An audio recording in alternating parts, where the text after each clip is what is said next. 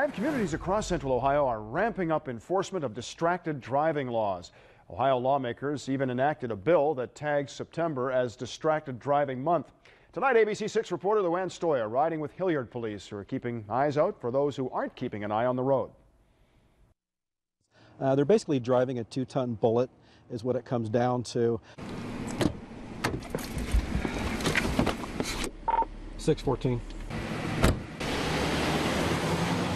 Officer Mike Metz says Hilliard is pulling the trigger on enforcement because police see the danger firsthand.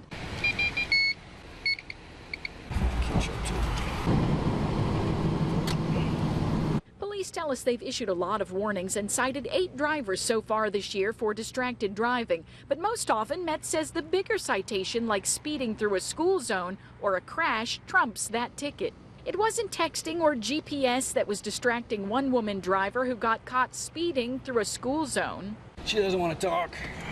Um, she said she was uh, been crying, she's been upset along those, you know, emotional lines. So Officers say people need to think about what takes their primary attention from driving. Something even as simple as man's best friend can cause distraction and danger.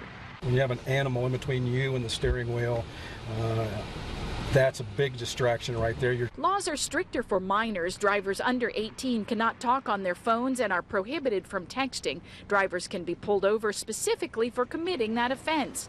I just don't think they realize the danger until it's too late. In Hilliard, Lu Ann Stoia, ABC 6 News. Thanks, Lu Ann. The State Highway Patrol says when it comes to adults, 198 were cited for texting and driving in 2013, 231 so far this year. And when it comes to teen drivers, so far this year, or last year, 39 were cited, and so far in 2014, 22 teens have been cited with the year a little better than half done, now into our 10th month.